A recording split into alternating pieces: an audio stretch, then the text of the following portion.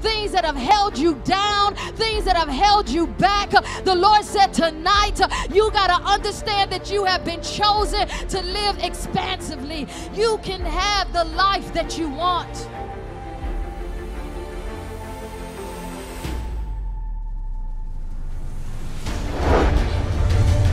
These are the days that God is raising up men and women understand their purpose, their calling, their destiny. You're going to understand what you are not. You're going to understand your design. You're going to understand what He's designed you to be. And when you get in that place, spirit, soul, and body, You're going to have to do something that's outside of the box, that's unconditional. When you know that God has called you to do certain things, you cannot be afraid to move in You got to persevere